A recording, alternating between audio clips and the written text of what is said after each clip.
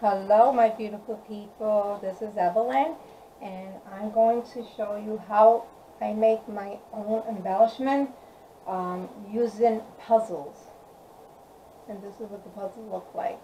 Now they come in different size. I work, um, there's a small one here, of course not here right now. Okay, I'm sorry, I have a bag down here. Okay, I got, well, I'm gonna work with the big one because I want you to be able to see it better. And, you know, but you can work with any size, like, they got the small ones, they got these small ones that I work with. Well, the one the small ones, it, it looked like this. I attached it to a handmade flower that I made. Instead of using the center with beads or whatever gives you the blank, I decided to put my embellishment puzzle into the middle of this um, flower. And look how pretty it came out. It's got a little, well, the background you can't hardly see, but I did this with black embossing. That's what we're going to work with, guys, embossing first.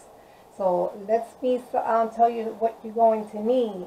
Of course, you're going to need Versamark, so you can ink up your embossing powder. I have three colors that I'm, well, four colors because um, I want different colors on my my puzzles.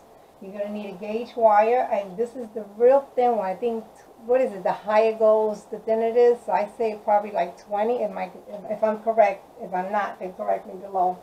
Um, cho choice of your beads. I like to coordinate this with the embossing powder that I'm going to be using. Um, some jump rings. And if you only have one color, just so you know, like um, I had some that I, I didn't have jump ring in gold. So I took my gold leaf tip pen, the 18 karat gold. I have it in different colors, but today I'm going to be using silver. And some jump rings, your tools. You're going to need a punch holes.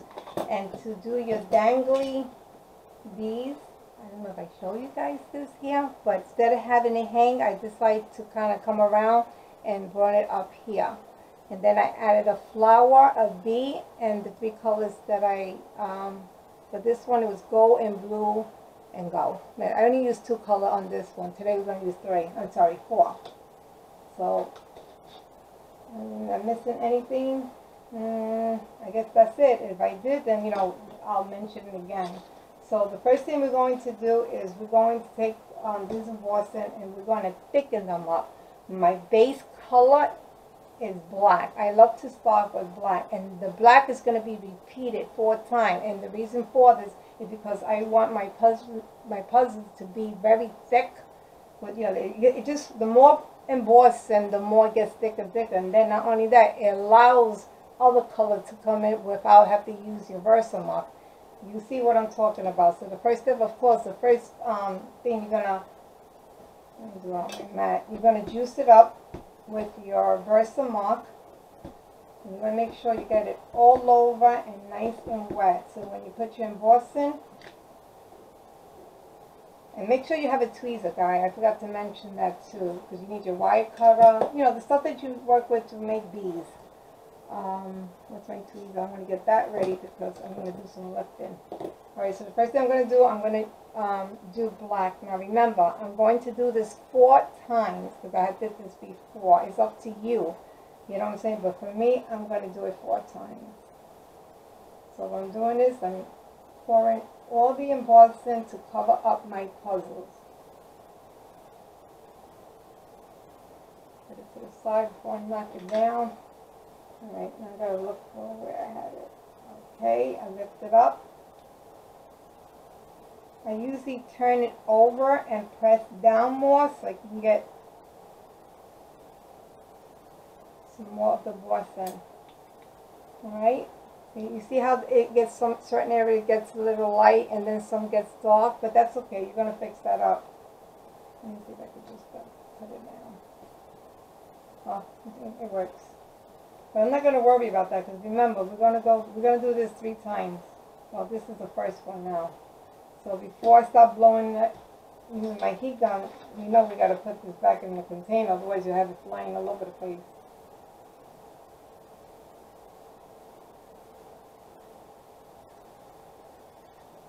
Okay. Now I'm going to do it. I'm going to use my heat gun. And I'm going to take my black as I'm working on it. I'm going to keep on Because once you use it, you don't need to use it again with the Versamark. So right now, excuse me for the noise.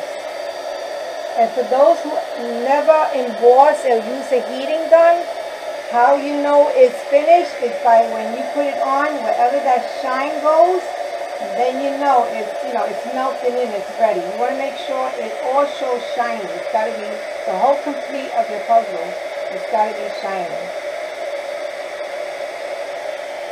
Alright, so now it's nice and hot. I'm going to pour my embossing powder again. Now this is the second one.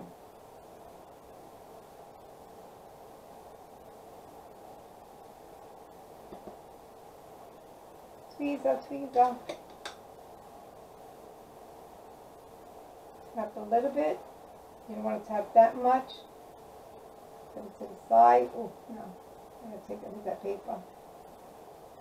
Okay, put back your, I wish I had it in a bigger container so it won't take so much time. But if I don't do this now, I have flying embossing powder all over my face. Okay. Now, this is, what I said, this is my second or third time? Jesus, I forgot. Um, I think this is my second one, right? I hope. So I'm going to hit it with the gun again.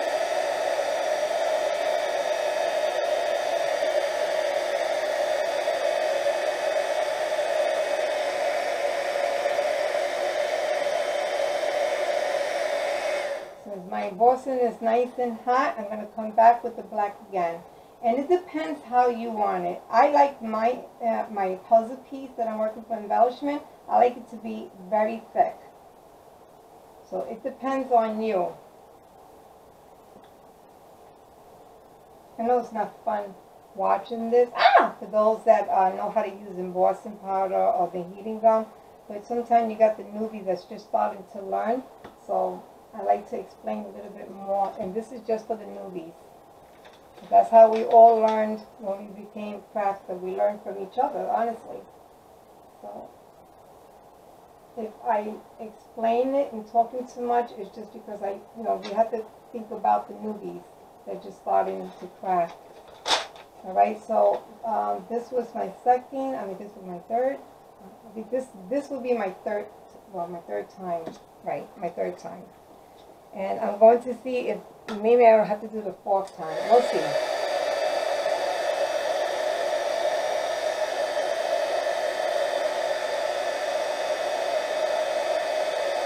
you want to make sure, you, you, I mean, for the newbies, you want to make sure that everything is nice and shiny.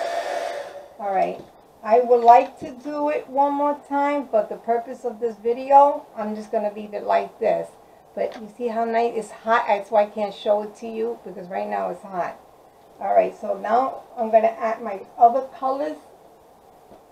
Like I said, if I had more time, I probably would do this one more time, because I like to be thick. So I'm going to use this aqua color, like a bluish aqua color, and I'm going to open this up. Now I'm going. I don't need the Versamark because remember the embossing that I have here is so thick that when you start heating the heat, it gets hot and then you can start pouring in. So I'm going to do is heat up my puzzle again so I can get that to be, um, the embossing powder is be soft.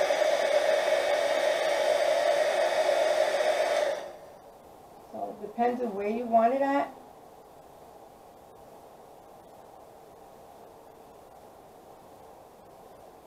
Then you're going to hit it with the gun.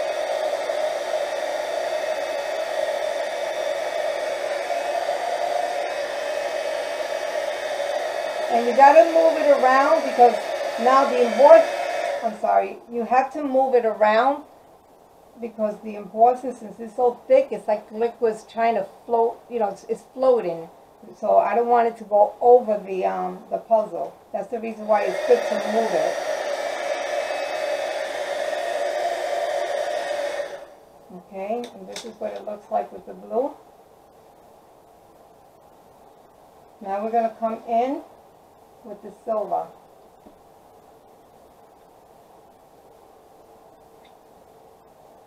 I'm going to heat my puzzle again so we can soften up the embossing powder.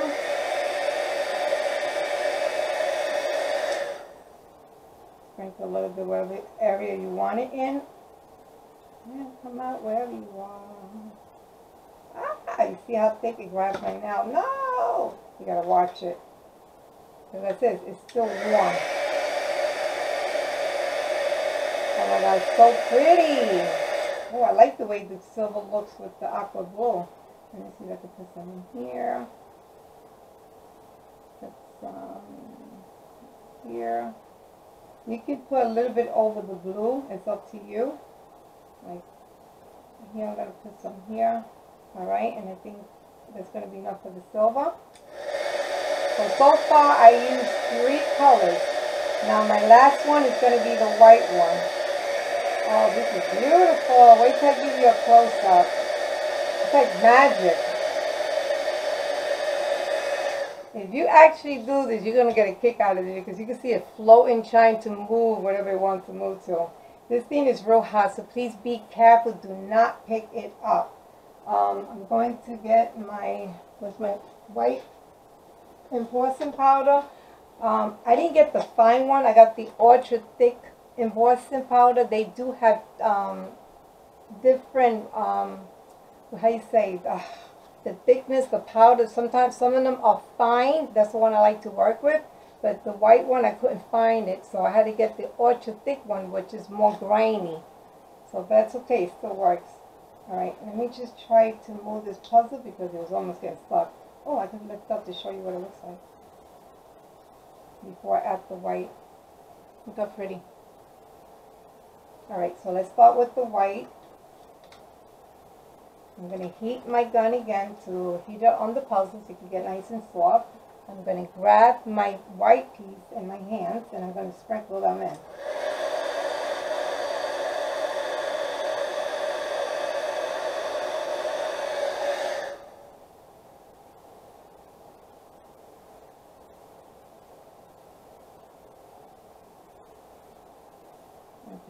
See how that looks.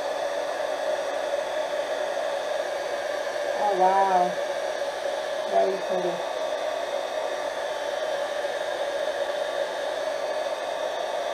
That's crazy how it just moves. Okay, that is beautiful. I'm being honest, I have to say so myself. but it came out really nice. I like the colors.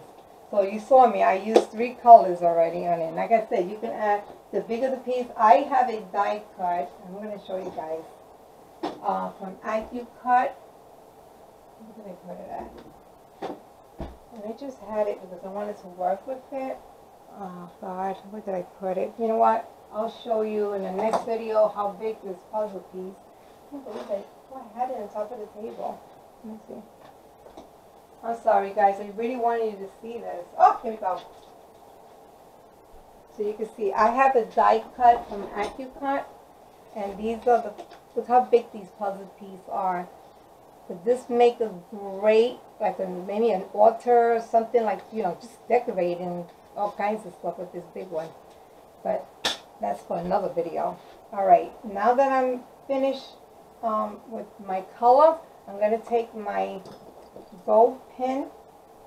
and I'm gonna, you know what, I don't know which one gold, should I do gold? Because it has some gold on it. You know what, I'm gonna use, I'm gonna use, well, um, instead of, I'm sorry, instead of the silver one,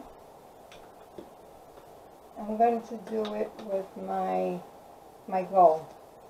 It might look nice, who knows. And what I'm going to do, I'm just gonna edge, I'm just gonna um, ink it up on my edge side. So it's going to be like this. I don't want to put too much.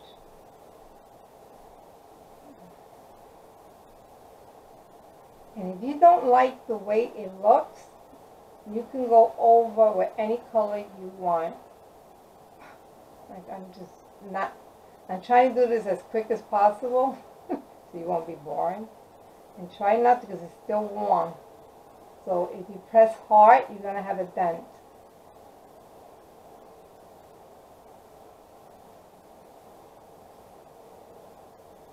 So that's what I'm doing.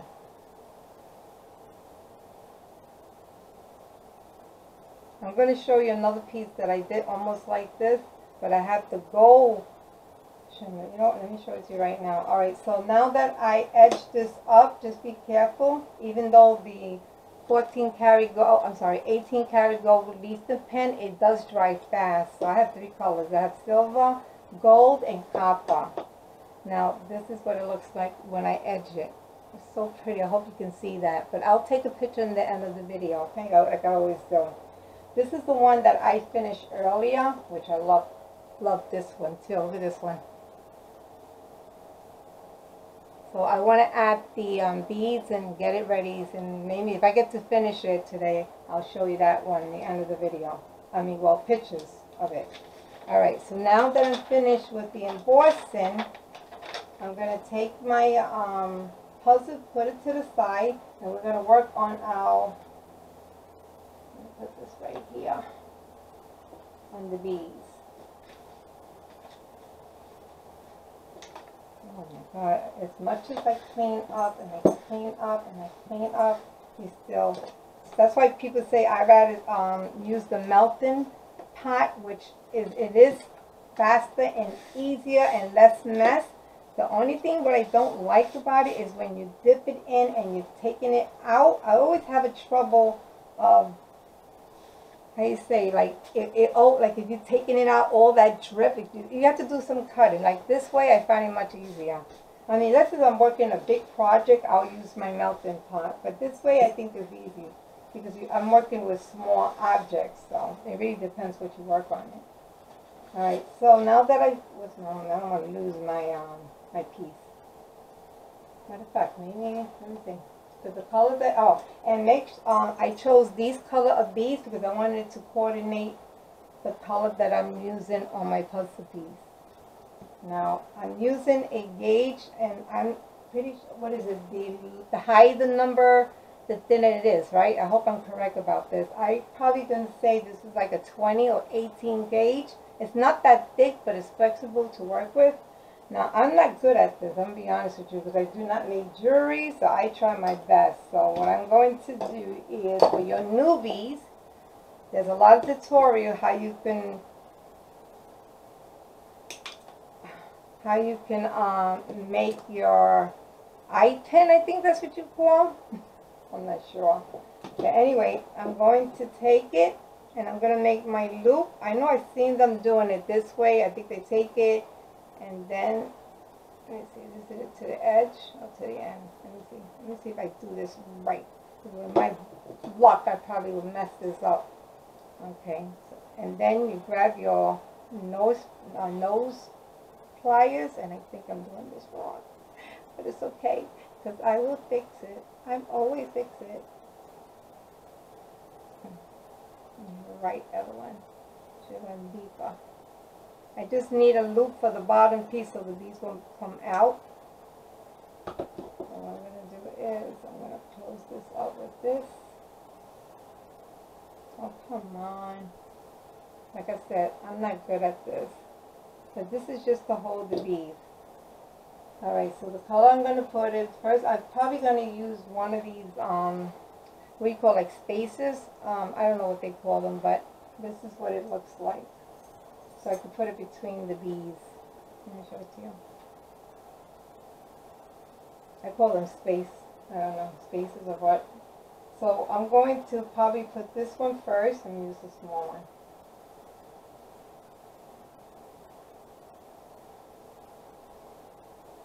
Nope, this is not going to work. Nope, this is not going to work. Alright, let me do the bee first. So I'm going to take my my blue one. It's a baby blue color. Then I'm going to take a spacer. Oh, I got one or two. Then I'm going to add a like a silver one. I don't have, oh, here go. I have one big silver. I was trying to look for small silver. Um, I can't believe I can't find one. I found a, you know, one of the big ones, which I didn't really want to use it, but I'm gonna have to anyway. So I'm gonna come with this. I mean, it doesn't look bad. That's cool. Then I'm gonna come with another spacer, which is the small one, not using the big one.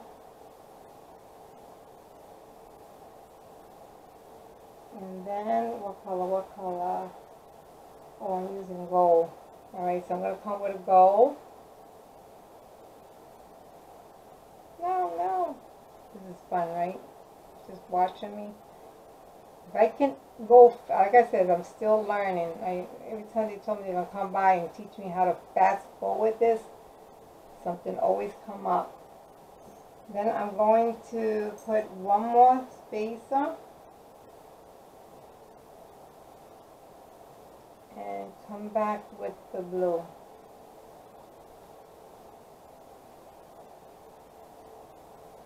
Hmm, this one already had a spacer. Oh, no, it didn't have a spacer. Oh, come on, baby. Be nice. Okay, I'm going to close it here because I'm not sure if I'm going to have more room for this. So I'm going to twist this. Oh, before, yeah, I'm going to twist this. In fact, let me trim it down a little bit. And watch it when you um, cut them up they fly all over the place. So I'm going to make a, a loop. I'm going to try to make a loop. I think I put this uh, wire too short. I don't know how you guys do bead. I'm gonna take I'm gonna take a course for that. I swear. I'm I'm terrible when it comes to this. Okay, let me flatten this up with my flat ones.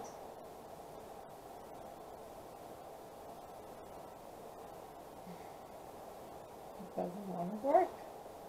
Okay, let me do it this way. Alright.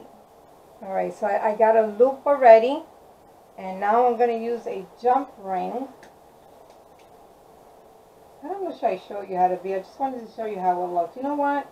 I'm not even going to go with the bead. I mean, this is what it's going to look like. Just give you an example. Um, okay, guys. I did one mistake, of course.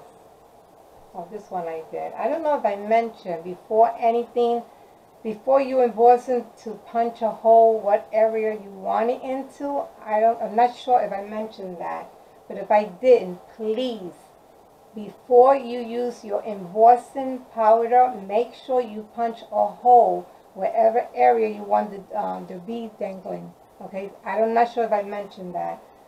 So I'll mention on the first on the first um, part you know just to make sure you got you make a hole before you put your embossing since I'm going to do it now because what happens, this is what's going to happen. Alright, I'm probably going to have my dangling right here. I never, oh, oh, not bad. Oh, well, of course, because look what I just did. I mean, I went too far out. I'm going to use the other one since I already had that one in. It does have a little bit of blue. I don't know if it's going to come out. I really, really like this you know what, I'm going to try the other way and try to do something with that other piece. Where's my punch? I just messed that up.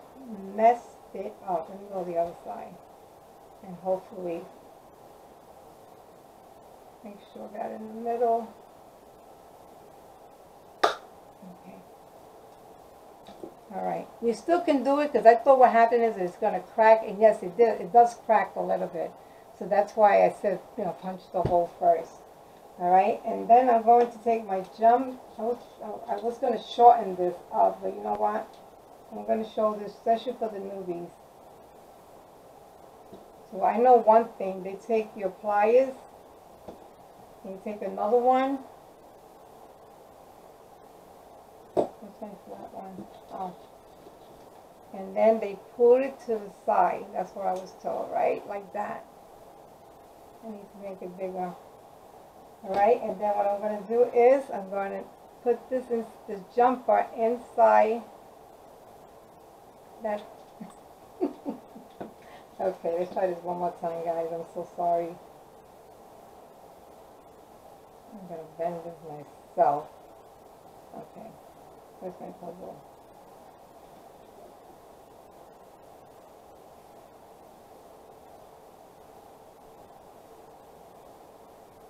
Okay, almost there, almost had it. Come on, come on. I tell you. Oh, I don't like doing this. I'm so sorry. I hate, I hate to take my time doing something, but you can always fast forward it. It's okay. I'm gonna lock it up before.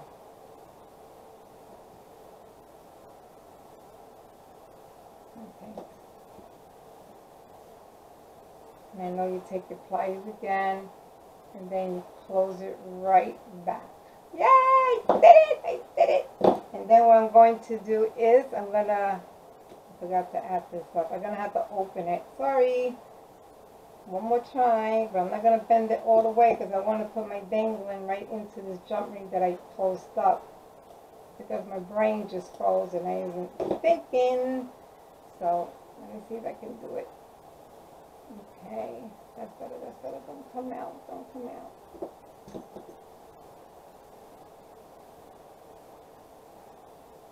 Yay, look, look, look, look. Look how pretty, guys. Look how pretty. And um, the rest of it, like I said, I'm going to embellish it. And once I finish, I'll put a picture in the end of the video. I'm sorry if I had to take a little longer for this, but like I said, um, the main thing is to share you guys what you can do with your puzzles. So start collecting them in the dollar store and you can make a lot of these um, embellishments and use it for any projects that you are making. So I hope I was a little helpful on that part besides slowing down. And then for the newbies um, that just happen to stumble over, don't forget subscribe, hit like, please make a comment. You know, if you have any question, there's a comment below. Ask me anything. Um, and hopefully, um, this is it. This is what I wanted to share with you. So thank you for watching and have a great night.